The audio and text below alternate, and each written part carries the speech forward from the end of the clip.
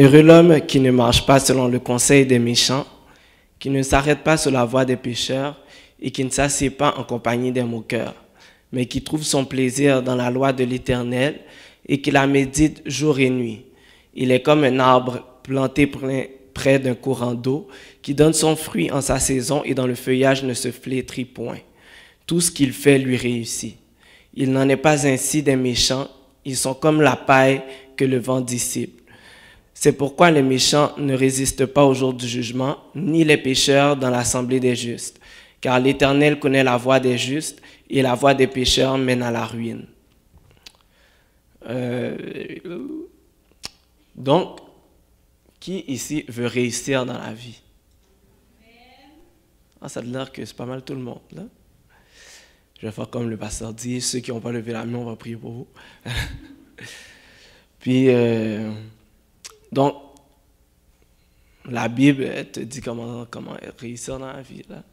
Puis moi, je vais t'expliquer dans le fond ce que la Bible te dit, mais c'est ça.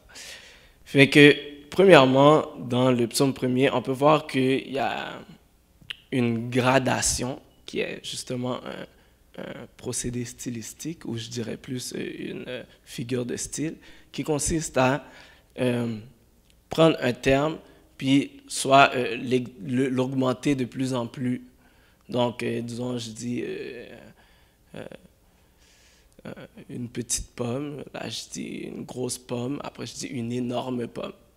Donc, j'ai augmenté la taille de la pomme au fur et à mesure. Et dans le psaume premier, on peut voir qu'il y a une gradation dans le mal, dans le sens que quand on te dit, premièrement, quand on te dit méchant, pécheur et moqueur, c'est différents niveaux d'éloignement de Dieu, dans le fond. Puis quand on te dit, heureux l'homme qui ne marche pas, premièrement, c'est marcher. Après, c'est qu'il ne s'arrête pas. Donc déjà là, tu t'es arrêté. Puis après, qu'il ne s'assied pas. Donc, il y a une progression dans le mal, dans le sens que au début, tu faisais juste marcher avec ceux qui étaient dans le monde. Après, tu t'es assis, tu as passé du temps avec eux. Euh, tu t'es arrêté, tu as passé du temps avec eux. Puis rendu à un moment, tu es assis avec eux, ça veut dire tu prends part à ce qu'ils font. Donc il y a une progression dans, euh, dans le, le, mal, dans le fond. Puis euh, on peut voir que le, le, psaume premier commence par heureux, puis on sait que euh, dans l'Évangile, Jésus il fait, il fait son sermon sur la montagne, puis il fait les béatitudes ce qu'il dit euh, heureux euh, celui qui est. Puis il commence comme chaque phrase par heureux. Fait qu'on voit qu'il y a comme une, similitude dans la forme du discours qui nous amène à croire qu'il y a un lien les deux, ou que Jésus lui-même savait très bien à quoi il faisait référence quand il faisait son message. Puis, euh, et on sait aussi que quand un passage commence par heureux, ça veut dire, ben, si tu fais ça ou si tu suis ce qu'on commande dans le passage, tu as, du bonheur qui va venir avec ça, ta vie va être heureuse. Donc, euh, c'est ça. Donc, l'homme qui ne marche pas, la marche, on dit souvent euh, ma marche chrétienne ou ma marche. La marche, c'est pas juste euh, marcher physiquement, là. Parce que euh, les gens qui sont en chaise roulante, ben, ils ont une marche chrétienne quand même. Fait que on parle vraiment du comportement dans ta vie quotidienne, comment tu vis à chaque jour, c'est ça ta marche. Donc quand on dit qu'il ne marche pas selon le conseil des méchants, c'est vraiment dans ta vie quotidienne comment tu euh, comment tu penses sur quoi tu bases tes actions ou ton comportement dans ta vie quotidienne. Puis euh, quand on va dans, l'origine des mots, dans l'origine hébraïque des mots, quand on dit le, le conseil, c'est un peu les projets des, des, des, méchants. Donc, puis méchant, en passant, c'est quelqu'un qui ne vit pas dans la sainteté, qui est juste comme athée, qui n'est pas nécessairement quelqu'un qui est méchant dans le sens qu'il y a une méchanceté particulière. C'est juste quelqu'un qui n'est pas chrétien, qui ne connaît pas Dieu. Puis, donc, quand tu marches comme quand tu vis selon des, projets qui ne sont pas de Dieu, ben, c'est ça, c'est que ton comportement, ta vie, elle n'est pas selon ce que Dieu a prévu pour toi, mais plus selon soit l'influence des autres, ou même ce que toi-même t'as prévu qui n'est pas dans la volonté de Dieu. Puis tout ça, ça, ça t'emmène directement au péché. Puis, euh, dans le fond, par rapport à ça, c'est quelle importance qu'on accorde aux valeurs de nos amis non chrétiens. Parce que tout le monde a des valeurs. Tu sais, à des fois, on voit, il y a des gens qui, qui font un peu n'importe quoi dans la vie, puis on se dit, ah, cette personne n'a pas de valeur. Non, elle a ses valeurs. Elle a des choses qui, pour elle, sont sacrées. Mais c'est quoi nos valeurs à nous? Puis c'est quoi l'importance qu'on accorde aux valeurs des personnes non chrétiennes? C'est-à-dire que lorsque les personnes non chrétiennes nous influencent à trahir nos propres valeurs euh, pour aller selon leurs valeurs à eux, est-ce que nous, on se tient ferme sur, notre parole ou bien est-ce qu'on les suit? Est-ce qu'on se dit, ben, vu que la majorité du monde pense comme ça, je vais penser comme ça? Ou on se, on se dit, non, moi je suis chrétien, puis la parole me dit autre chose?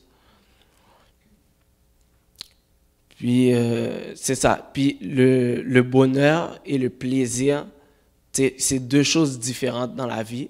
Le plaisir, c'est vraiment quelque chose de plus superficiel que le bonheur, qui est plus un état d'être que quelque chose que tu reçois. Tu le plaisir, c'est vraiment, bon, je m'amuse, j'ai du plaisir, mais le bonheur, comme même quand je suis triste, je suis heureux quand même parce que je sais que ma vie, elle est les mains de Dieu, puis que Dieu me donne quelque chose de plus dans, dans mon cœur. Puis c'est ça le bonheur. Donc, je peux ne pas avoir plaisir du tout. Moi, quand je suis au bootcamp puis je fais des push-ups, j'ai pas plaisir du tout, mais je suis heureux quand même. Fait que c'est ça. Donc, la différence entre plaisir et bonheur. Puis, c'est deux choses différentes. Puis, c'est bien que, que, certains projets semblent plaisants. Le bonheur ne se trouve pas sur leur voie. Donc, à des fois, on va, nos amis vont nous proposer des choses, puis on dire, hey, viens dans telle affaire, puis viens faire telle activité avec nous. Puis, on voit un plaisir là-dedans, on voit un attrait là-dedans, mais le bonheur ne se trouve pas dans ces choses-là. Puis ce qui arrive, c'est que si on essaye de chercher notre bonheur dans ces choses-là, on sera constamment insatiable. Parce que ces choses-là ne vont pas nous apporter du bonheur. Il n'y a pas de bonheur dans ces choses-là. Puis on va toujours, c'est comme si on va prendre le plaisir pour un bonheur. Fait qu'on aura toujours besoin de plaisir, plaisir, plaisir, plaisir pour compenser le fait que dans le fond, il n'y a juste pas de bonheur. Puis ça sert à rien dans le fond. Puis c'est une perte de temps. Puis souvent les personnes qui se retrouvent dans cet état-là, du moment qu'ils se réveillent puis qu'ils réalisent qu'ils ont perdu leur temps, ben ils ont plus de regrets que lorsque euh, ils disaient oh ben moi je fais ce que je veux puis j'ai pas de regrets. Ben c'est ça, ça vient un jour. Puis euh, c'est ça. Donc tu sais euh, par rapport à ça, il y, y a, juste la voix donc le chemin, la conduite des justes dont l'Éternel tient compte.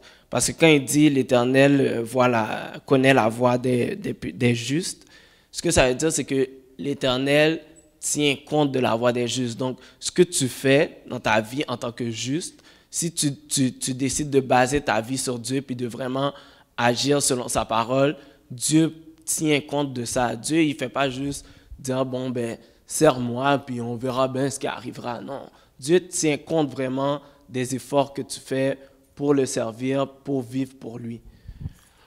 Puis, puis en même temps, c'est justement c'est de ça qu'il tient compte. C'est pas euh, fait que si tu marches sur une voie qui n'est pas celle-là, c'est comme si justement ta voie elle est vaine parce que Dieu va pas en tenir compte, ça va rien t'ajouter, ça va rien te rapporter dans l'éternité. Puis certaines valeurs semblent être justes sur un point de vue philosophique, mais la parole doit être souveraine dans notre vie. Comment on pense? Dans le fond, le, le, vraiment l'aspect qui est mis dans, dans ce verset-là, dans cette partie du verset-là, c'est vraiment une question de comment qu'on pense, comment que, quelle est notre mentalité.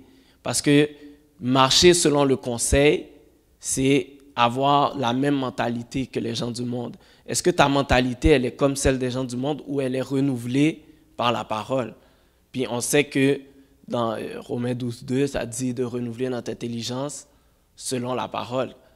Puis c'est exactement ça. C'est est-ce que ta, ta, ta, pensée vraiment, elle est vraiment renouvelée? Fait que par rapport à ça, je vais donner juste des, petits rappels. Donc, euh, on doit s'assurer que nos valeurs soient en accord avec la parole. Juste, pas juste notre gros bon sens. Parce qu'il y a des choses que, à des fois, ça, fait, a l'air de faire du sens. Puis, tu vas écouter les gens parler, puis tu vas être comme, ouais, ça fait du sens. Mais si tu vas dans la parole, la parole te dit le contraire de ça. Fait que ça fait du sens, mais ça n'en fait pas en vrai. C'est juste ça. ça. fait du sens dans ta tête parce que tu es humain, mais Dieu, lui, est au-delà de ça. Puis si lui, il te dit que ça fait pas de sens, ben ça fait pas de sens. Puis, euh, avons-nous consulté Dieu avant d'adopter un point de vue? Notre opinion ne tient pas contre la parole. souvent, on a une opinion, on a, on a lu un passage, puis on en est venu à une conclusion selon le passage qu'on a lu, mais on n'a pas pris le temps de fouiller pour savoir si c'est vraiment ça que Dieu voulait dire dans le passage ou si c'est notre propre interprétation de ce passage-là. Parce que moi, je peux. Il y a des gens, vous seriez étonnés d'entendre les théories que les gens peuvent sortir avec des passages de la Bible. À des fois, tu entends des gens parler, puis tu es comme, My God, écoute, euh, je vais t'acheter une autre Bible. non, mais, écoute, il y a des gens qui vont te sortir des théories, là, des, théories complètement insensées. Ils vont, ils vont même être capables de mettre Jésus de côté avec la Bible. Tu être comme, mais Jésus, c'est la parole faite chair. ils ont une autre philosophie, là. Puis, c'est pour ça que c'est important d'avoir le Saint-Esprit.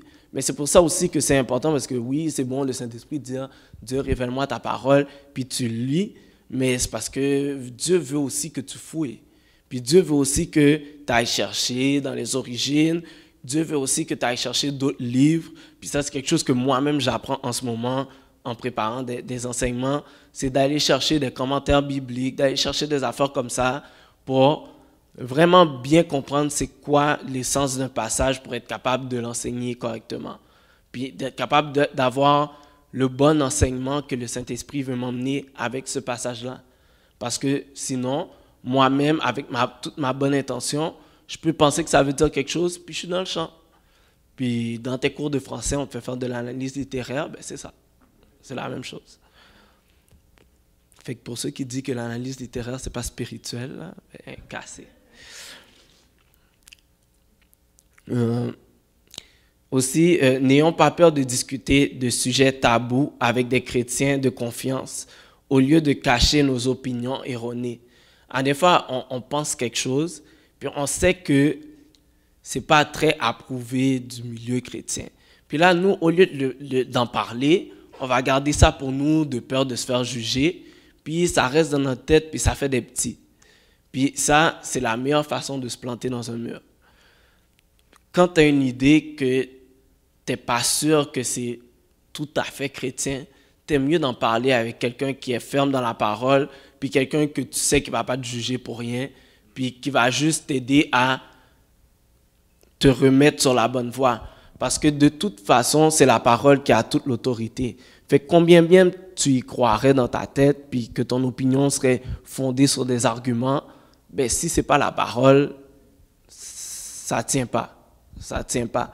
Puis c'est mieux, t'es mieux d'en discuter, puis de peut-être avoir l'air de quelqu'un qui s'y connaît pas, mais au moins tu auras mis les choses au clair, puis tu auras appris de quoi que de rester dans, dans ton ignorance, dans le fond, ou dans ta fausse pensée, dans ta fausse mentalité, puis de après te retrouver à, à poser les mauvaises actions parce que tu as les mauvais motifs ou tu as les mauvaises croyances.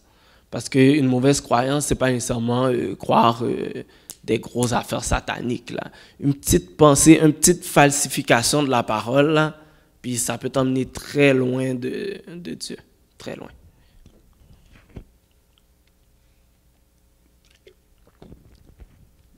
Cette gorgée d'eau était une présentation de...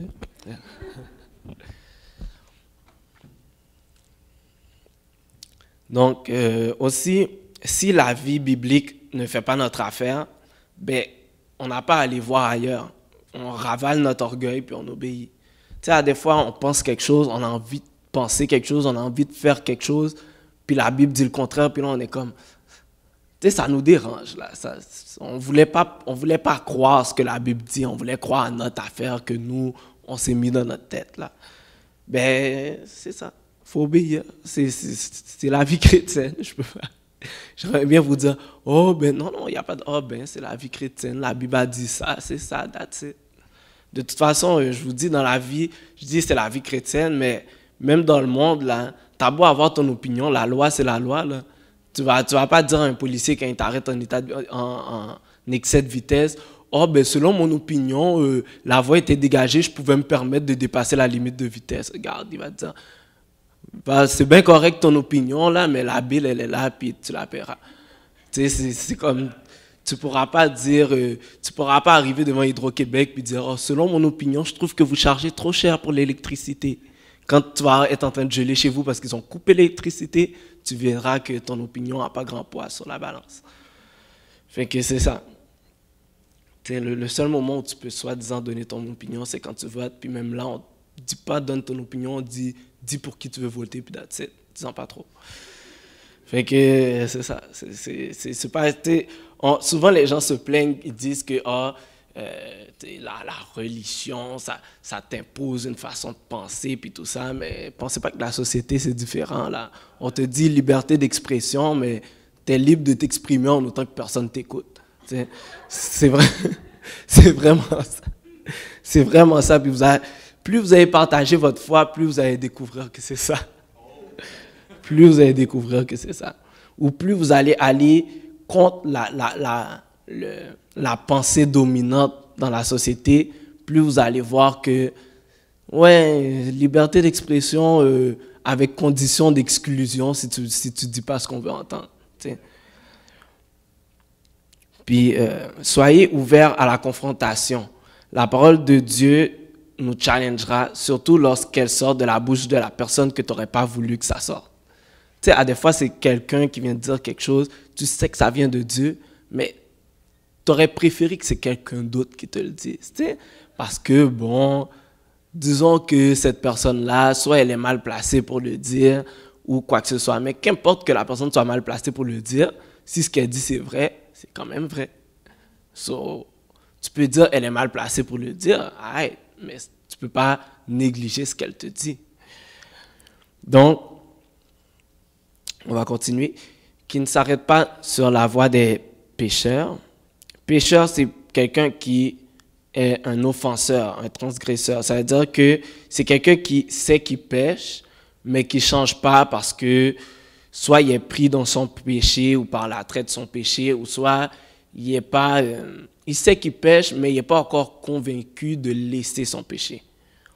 Donc, euh, donc tu vois, y a, la personne, le, méchant au début, c'est quelqu'un qui est juste, qui ne croit pas. Donc, cette personne-là, tu lui dis qu'elle pêche, pour elle, elle pêche pas vraiment parce que elle vit pas, euh, elle vit selon les règles de la société, dans le fond. Fait que elle n'a pas vraiment une conviction de péché.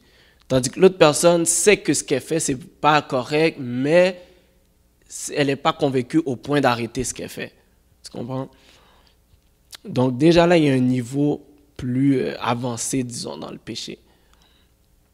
Ou dans la désobéissance à Dieu, je dirais. Passez-vous plus de temps euh, là où se trouve le péché ou là où se trouve la justice? Donc, est-ce que, dans le fond, on se tient là où ce qu'on sait qu'il y a de grandes chances qu'on fasse des choses que Dieu, ne n'accepte pas qu'on fasse, ou on passe plus de temps dans la présence de Dieu ou dans une atmosphère où Dieu est honoré. Donc, euh, le péché, en passant, c'est une malédiction, c'est une captivité. C'est pas euh, juste euh, enfreindre la loi de Dieu. Le péché, c'est pas pour rien que Jésus a dû donner sa vie pour briser cette emprise-là, parce que c'est vraiment une malédiction, c'est vraiment quelque chose qui c'est une cage, c'est des menottes. Puis, plus on passe du temps dans le péché, plus on est captif. Tu sais, c'est comme quelqu'un qui a passé, disons, 40 ans en prison. Cette personne-là est beaucoup plus difficilement réhabilitable qu'une personne qui a fait deux ans en prison. Puis c'est la même affaire avec le péché. Si tu passes plus de temps dans le péché, quand tu vas te repentir, parce qu'il y a des gens qui se disent Oh, ben moi, je vais profiter de ma jeunesse, puis quand je serai plus vieux, ben, je vais me repentir, puis je vais faire ma vie correcte. Mais plus tu auras pris ces mauvaises habitudes-là, plus quand le temps de te repentir va arriver, ça va être difficile, puis tu ne sais pas si tu vas y arriver à temps pour que le, quand le temps arrive, tu sois prêt.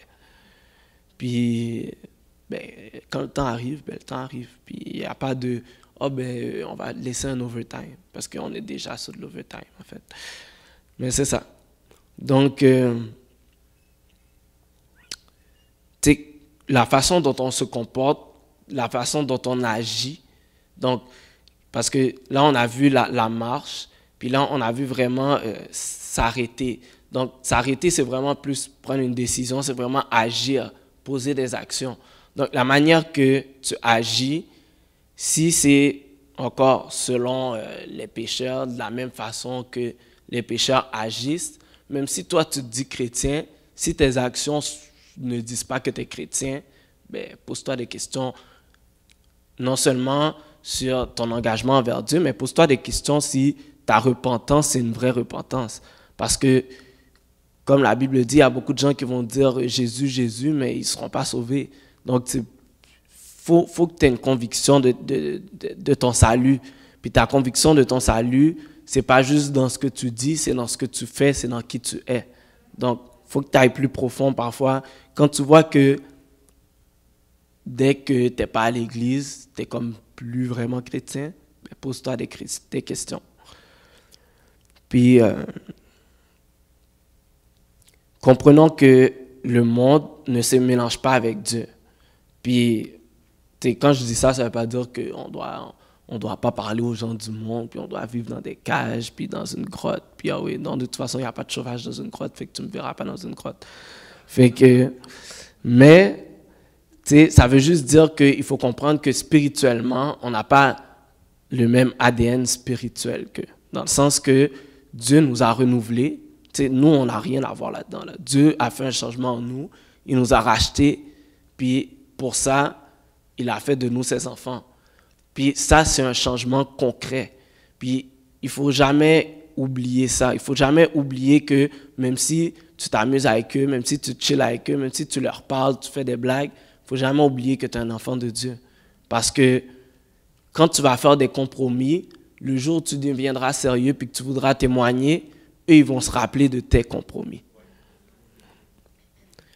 Euh, donc, comme je disais, évitons les compromis. Euh, le, point est déjà fait. Vous avez, ouais, on a fait un choix, il faut, la, l'assumer jusqu'au bout. Tu sais, il n'y a personne que Dieu a forcé à devenir chrétien. Là. Personne t'a dit, va en avant, fais la prière de repentance, sinon je te bats. Tu es venu, tu as fait la prière de repentance. Ceux qui sont baptisés, tu t'es baptisé, personne t'a noyé dans l'eau. Tu es baptisé, tu as, choisi, tu as, fait ton pas de foi, assume. Puis c'est la même chose pour, pour moi. Quand, quand, quand, à des fois, je vous dis, la vie chrétienne, c'est pas tout le temps euh, Yahoo! Puis à des fois, je suis dans des situations, puis ça me tracasse. Mais je suis comme, Mathieu, tu es chrétien, et puis that's it. Parce que, avec ce choix-là, veux, veux pas, là, ce choix-là, on ne fera pas comme si. Euh, on était tous hyper amoureux de Dieu dès le premier jour, il y avait le côté vie éternelle dans notre tête qu'on a fait ce choix-là. On a fait ce choix-là, oui, parce que Dieu nous a touché notre cœur, mais aussi parce que on savait qu'il y avait une récompense au bout, puis qu'on croyait que cette récompense de, de, vie éternelle là était au bout. Fait que avec ce choix-là vient la récompense. Si tu veux, si tu renonces au choix, tu renonces à la récompense. Si, moi, quand, quand tu vas travailler, là, tu vas, tu vas toucher si tu travailles. Si tu décides, je ne rentre pas, ben, tu vas pas toucher. tu ne vas pas faire d'argent. C'est la même affaire avec Dieu aussi. Si tu vis pas ta vie chrétienne, comme Dieu t'a demandé de vivre ta vie chrétienne, ben, attends-toi pas à avoir une récompense au bout du chemin. Là. Puis, euh, donc, comme je disais plus tôt, ce n'est pas vraiment d'éviter les pécheurs, mais vraiment d'éviter leur voie, leur manière de vivre. Donc, et qui ne s'assied pas en compagnie des moqueurs. Moqueur, c'est vraiment quelqu'un qui méprise ou qui est arrogant, qui se moque de la loi de Dieu, qui se moque de, de ce que Dieu veut. Donc, c'est quelqu'un qui, qui est carrément qui dit, moi, je m'en fous de, de, de, de ce qu'ils disent des affaires de Dieu, là. Moi, je fais ce que je veux, puis c'est comme ça. C'est vraiment rendu à ce niveau-là. Puis, ce qu'on voit, c'est que quand tu fais ce, ce parcours-là avec eux, tu vas finir par t'asseoir avec eux, avec les moqueurs, fait que tu vas prendre part à la moquerie. C'est-à-dire que toi-même, tu vas te comporter de manière à ce que, comme si tu t'en foutais que Dieu existait. Tandis que tu as, professé que tu étais chrétien, tu t'es retrouvé à carrément te moquer du Dieu qui est soi-disant responsable de ta vie. Ça te montre à quel point que c'est vraiment pas compatible en, comme. Puis c'est pour ça qu'on dit que c'est pas la même voix, c'est pas, ça se mélange pas. C'est pas qu'on veut dire ben, fréquenter les pas, c'est qu'on veut dire que rendu à un certain niveau, tu, tu, tu prends, euh, c'est comme quand tu es sur la route, tu prends la sortie, mais rendu à un moment, tu plus dans le même chemin. Il y a une partie où que, bon, tu peux retrouver le spot pour revenir sur l'autoroute, mais il y a une partie où tu es dans le champ. Là. Puis une fois que tu es dans le champ, ben, généralement, le champ, ça sent souvent euh, pas très bon.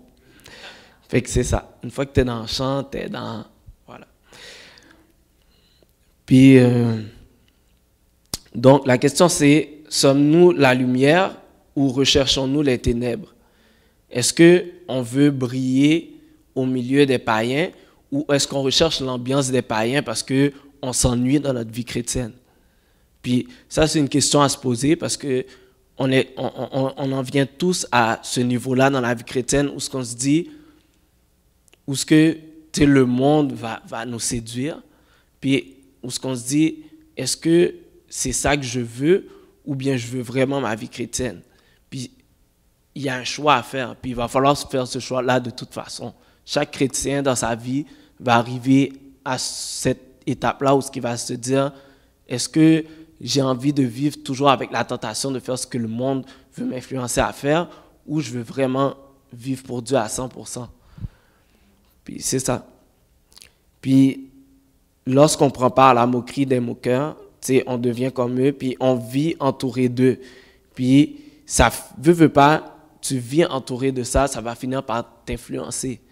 Puis, tu sais, as beau être fort dans ta foi, il faut que tu doses tes fréquentations. Il faut que tu doses le niveau de temps que tu passes avec des gens qui n'ont pas Dieu dans leur cœur, puis le, nombre de temps que tu passes avec des gens qui ont Dieu dans leur cœur, puis qui vont s'entraidifier entre eux. Puis, euh, donc, la question, c'est qui a l'autorité, puis qui est manipulé? Tu sais, qui, en toi et, et genre tes amis qui sont non chrétiens, qui a l'autorité, qui impose le royaume de l'autre sur l'autre? Est-ce que c'est eux qui t'imposent le royaume des ténèbres ou toi qui imposes le royaume de Dieu parmi tes amis? Puis, honnêtement, c'est pas, euh, pas en disant Jésus à chaque deux phrases que ça va se faire. C'est vraiment, euh, c'est vraiment la manière que l'importance que tu vas mettre Dieu dans ta vie, c'est ça qui va rayonner dans le reste de ta vie. Donc, c'est c'est pas au milieu de tes amis que tu vas dire oh ben je vais prendre le comportement du chrétien. Non. C'est dans ta vie de tous les jours que tu vas juste être comme ça, c'est tout. Puis à qui s'identifions-nous? Est-ce qu'on s'identifie à des stars? Est-ce qu'on s'identifie à Jésus? Est-ce qu'on s'identifie euh, à nos amis ou euh, à un comportement, un caractère qui nous fait plaisir? Ou est-ce qu'on cherche vraiment à avoir le, le caractère que Dieu nous a donné, nous, avant même qu'on soit né, avant même la fondation du monde? Puis, c'est ça, la Bible nous dit qu'on doit être imitateur de Christ.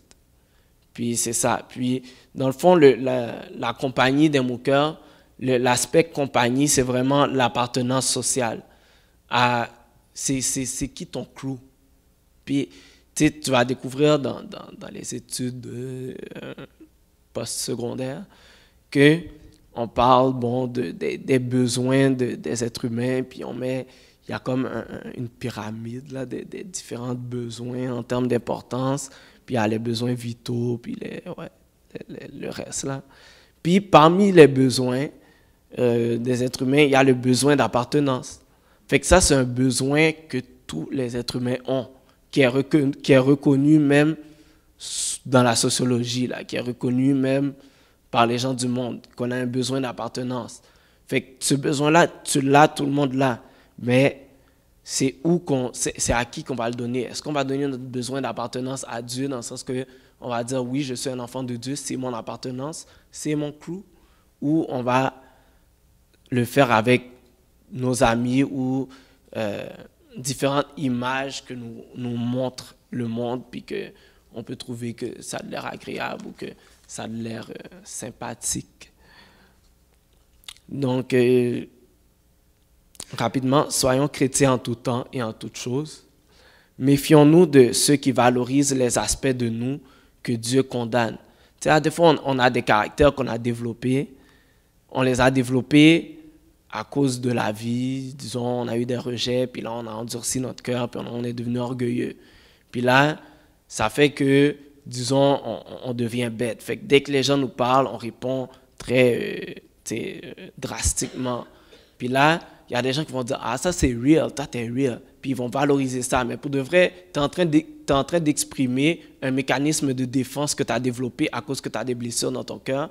Et tu es en train d'exprimer l'orgueil, ce qui est totalement contraire à ce que Dieu te demande d'être dans la Bible. Fait ne te valorise pas de la personne qui te dit Oh, toi t'es real. Non, je suis orgueilleux. Puis l'orgueil, Dieu a dit il résiste aux orgueilleux. Fait que recherche l'humilité. Parce que c'est facile de se faire flatter par les autres puis de vouloir, ah ouais, mais non. Si, si tu n'as pas de swag devant Dieu, ben, ça ne donnera pas grand-chose. Fait que rester humble devant Dieu et les autorités qu'il a déléguées, moi je réalise de plus en plus dans ma vie que juste être humble devant les autorités, ça ça m'a protégé de beaucoup de choses sans que j'ai fait quoi que ce soit pour. sais, même quand tu sais, des fois, tu vois les choses venir de loin, mais à des fois, tu ne les vois pas, puis c'est juste Dieu qui t'a protégé. Mais le fait d'être soumis à tes autorités, ben, ça met une protection sur toi. Euh, soyez ferme dans vos convictions. La parole, c'est notre conviction, c'est le numéro un là, de la conviction. Puis il faut qu'on soit ferme dans notre parole. Si on ne la connaît pas, c'est difficile d'être ferme dessus. Fuyons le péché, surtout là où on a des faiblesses on connaît nos faiblesses, on connaît notre cœur, même si parfois on fait semblant, on connaît notre cœur. Puis si tu sais que tu as de la misère avec quelque chose, ben, fuis. Comme, essaye même pas de te rendre tout près. Là. Si tu sais que tu as de la misère avec ça, niaise pas avec ça. Puis, euh, élevons le standard. Cherchons à vraiment euh, vivre notre foi comme Dieu nous le demande. Donc, après, ça dit, mais qui trouve son plaisir. Le plaisir, c'est vraiment un désir ardent, une joie dans la loi de l'Éternel, les enseignements, les commandements de Dieu, la parole de Dieu, et qu'il la médite jour et nuit. Puis vraiment méditer la parole, c'est vraiment, tu sais, le, le, comme, comment je pourrais dire, c'est comme la ruminer, c'est vraiment aller y réfléchir. Tu sais, quand, quand tu as quelque chose, puis c'est dans ta tête, tu es comme, tu y penses, tu y penses, comme un gros numéro de maths difficile. Tu sais, puis tu y penses, puis tu y ben, tu devrais faire la même chose avec la, la parole. Tu sais, parce qu'au lieu de te donner des points dans un examen, ben, ça te donne un point dans l'éternité. C'est ça. Puis, donc, quelle relation qu'on entretient avec la parole? Est-ce que vraiment la parole, c'est notre fondement? Puis, est-ce que quand on vient lire la parole, c'est comme, bon, il faut que je lise mon verset à chaque jour? Ou vraiment on a une soif de lire la parole. Puis ça, ça se développe avec Dieu. C'est pas, euh, ça vient pas tout seul. C'est vraiment Dieu qui, qui te donne la, la, soif de sa parole. Puis il faut pas juste connaître la parole, il faut la comprendre. Puis il faut pas juste la comprendre, il faut la mettre en pratique. Parce que c'est bien beau de, de, comprendre ce que Dieu te demande, mais si tu le fais pas, ben, ça sert à rien. Puis moi, je comprends bien comment il faut marquer un but au soccer, mais si quand j'arrive sur le terrain, je reste debout, ben, je risque pas d'être bien utile à mon équipe. Puis euh, jusqu'où allons-nous dans la parole? Est-ce que vraiment on passe du temps? Est-ce que vraiment on va loin puis on, se challenge? Est-ce qu'on renouvelle notre intelligence? Est-ce qu'on se remet en question dans la parole? pour changer vraiment avec la parole, faut le faire. Faut se mettre, faut se remettre en question avec la parole. Se dire, ce passage-là, Seigneur, est-ce que vraiment ça reflète qui je suis? Puis, ah, c'est ça. Donc, euh, quand on passe du temps dans la parole, c'est là qu'on a une vision claire du monde, puis qu'on peut analyser le monde, donc comprendre ce qu'il nous propose, puis résister à son influence.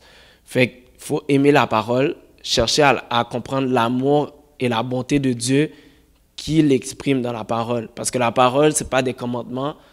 Dans ce, dans, ce que Dieu nous, parle, nous dit dans la parole, il y a un amour qui nous exprime en arrière de ça. Puis c'est vraiment ça qu'il faut aller comprendre pour avoir une passion pour la parole. Il faut pas qu'on soit des lecteurs superficiels, donc il faut creuser. Faut qu'on y mette du temps, faut qu'on la garde dans notre cœur, puis qu'on déclare la parole, puis qu'on la pratique. Euh, donc, je vais accélérer. Il est comme un arbre planté près d'un courant d'eau, donc un rafraîchissement constant, une nourriture constante, qui donne son fruit. Le fruit, c'est vraiment le résultat. En sa saison et dans le feuillage ne se flétrit point. Flétri, là, c'est vraiment être insensible, insensé. C'est vraiment quelqu'un comme, euh, comme Pharaon quand, Moïse euh, a fait sortir le peuple d'Égypte son cœur était endurci. Il avait beau voir tous les prodiges, il ne comprenait pas. Et c'est ça, quand ton, feuillage est flétri, c'est que c'est ça ton état spirituel. C'est que tu es endurci à, à ce que Dieu peut faire dans ta vie. Tu es endurci à la parole de Dieu. Fait que même quand Dieu fait des miracles dans ta vie, tu ne les vois pas. Puis ça, c'est plat. déjà, déjà qu'il y en a qui chialent, qui voient que Dieu, ils veulent voir des miracles. Mais quand Dieu fait les miracles et que tu ne les vois pas, ben c'est bien plate. Parce que tu manques le show, tu sais. Puis, c'est vraiment ça. Puis, tout ce qu'il fait lui réussit. Puis, par rapport à la réussite, le, le, le terme réussi euh, dans, en hébreu, c'est vraiment progresser. C'est pas réussir comme notre vision euh, nord-américaine de réussir. là. C'est quand je disais qui veut réussir dans la vie, tout le monde a levé sa main puis s'imaginait avec plein de cash, puis une grosse maison, puis trois, quatre euh, autos de luxe, puis oh oui, donc on s'amuse. Ben, la vraie réussite, c'est progresser constamment vers Dieu. C'est vraiment ça, réussir. C'est que tu stagnes pas dans ta foi. Tu restes pas au même endroit dans ta vie spirituelle et dans ta vie en général, parce que quand tu prospères dans ta vie spirituelle, tu prospères à tout égard. Fait que c'est ça. Puis il y avait un passage, je ne vais pas le lire parce que je n'aurai pas vraiment le temps, mais je vais vous le dire pour que vous ayez le lire, parce que je crois que vous allez le lire. Fait que quand euh, vous allez penser au passage, puis qu'il y a une idée qui va vous dire Oh ben non, on va sur Facebook, il y a la voix de Mathieu qui va dire Parce que je crois que tu vas le lire. Fait que là, tu vas le lire. fait que c'est ça. C'est Josué 1, verset 8 dans le fond, ça, répète un peu la même chose, mais ça nous permet de voir que la parole de Dieu, contrairement à ce que certaines personnes disent, ça ne se contredit pas, mais ça s'appuie de, plus en plus. Donc, sommes-nous bien nourris? L'arbre près du courant d'eau résiste à la sécheresse, aux épreuves, et sa vie est fructueuse. Est-ce qu'on est enraciné? Donc, ça dit, il n'est pas ainsi des méchants qui sont comme la paille que le vent dissipe la paille que le vent dissipe n'est pas enracinée. N'importe quoi qui arrive, c'est fini. Donc, euh, tandis que l'arbre près de courant d'eau est enraciné. Est-ce qu'on porte du fruit? Donc, est-ce que notre vie apporte quelque chose à quelqu'un, à quelque part? Euh, sommes-nous fanés des choses de Dieu? Est-ce qu'on en a, est-ce qu'on est fade dans notre chrétienté? Est-ce qu'on est comme blasé d'être chrétien? Ou bien est-ce qu'on a encore cette excitation-là? Euh, donc, petit rappel, restons près de la source, enracinons-nous dans la parole, travaillons pour le royaume, servons Dieu, travaillons notre caractère, un temps pour chaque chose, donc il ne faut pas le gaspiller parce que c'est qui porte son fruit en sa saison. Donc, il y a un temps pour que le fruit apparaisse. Mais si tu négliges le temps de faire pousser le fruit, ben quand le temps qui apparaisse sera, arrivera, il ne sera pas prêt. Fait que gaspillons pas le temps. Soyons, restons passionnés, Soyons malléables et ouverts à l'exhortation, puis écoutons beaucoup et parlons peu. Ça, j'ai appris ça dans la vie, puis croyez-moi, ça rapporte beaucoup. Puis, donc, où donc nous mènent nos projets? Qu'est-ce que, que nos projets nous apportent? Est-ce que ça nous apporte la réussite ou la vanité? Par rapport à, évoluer, à progresser.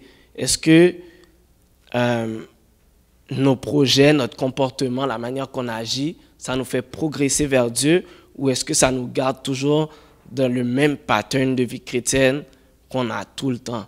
Puis quand vraiment on va mettre en pratique ce que le psaume premier nous dit, tout ce qu'on va faire va nous faire progresser vers Dieu. Toutes les actions qu'on va poser, toutes les, mentalités qu'on aura dans notre tête, toutes, euh, toutes les décisions qu'on va prendre vont nous faire progresser vers Dieu. Fait que, puis ça va nous pousser à faire sa volonté. Donc, Petit rappel, ne stagnons jamais dans notre foi. Ça, c'est un danger. Si tu vois que tu stagnes dans ta foi, faites quoi? Je sais pas, crier à Dieu, capote, faites quoi? Pour de vrai, c'est vraiment important. Si tu stagnes dans ta foi, si tu vois, ça fait un an là, tu es, rendu au même niveau avec Dieu, faites quoi? Bouge, bouge. Euh, courons pour gagner le prix. Ça, la Bible dit. Le but, c'est pas juste de, de, courir pour parce que rendu un moment, ça va faire, un moment, ça va faire, puis après, tu t'es arrêté, tu t'es assis. Fait que cours pour gagner le prix. Puis en conclusion, il y a une grande différence entre le sort des méchants puis celui des justes. Parce que ça le dit, euh, l'Éternel connaît la voie des justes et la voie des pécheurs mène à la ruine. Donc, on finit pas au même endroit. Là. Veux pas, là. On finit pas au même endroit. Puis, on partage pas la même voie. On, partage pas les mêmes pensées, le même comportement et on ne partage pas les mêmes fréquentations. Euh, les méchants ne résistent pas au jour du jugement, donc ça veut dire que quand Dieu va, poser son jugement, ça marchera pas pour eux, et ni les pécheurs dans l'assemblée des justes. Donc, quand tu es le, le, le, pécheur, celui qui ne supporte pas Dieu, quand il est parmi les justes, quand il est parmi ceux qui obéissent à Dieu, il ne pourra pas supporter ça. Il ne pourra pas, comme rendu un moment, il va se sentir mal à l'aise. Parce que, en lui, ce n'est pas, le, pas le même esprit. Donc, c'est ça. Puis, euh, donc, il y a des gens qui ils peuvent s'exclure du peuple de Dieu par le jugement de ceux qui se rebellent ou qui refusent de revenir à Dieu. sais. Puis juste, c'est vraiment égal croyants fidèles qui honorent Dieu par leur foi et leur conduite. Donc, c'est important d'être de, sur la bonne voie, puis de se mettre du côté des justes, puis d'honorer Dieu dans tout ce qu'on fait. Parce que l'Éternel tient compte de notre voie en tant que juste, puis il y a une destination au bout de notre voie. Puis il y a, une, y y a deux destinations possibles. Il n'y en a pas trois, là, il n'y a pas de détour, là. C'est deux destinations possibles. Puis si tu mets en pratique sa parole, tu choisis la bonne.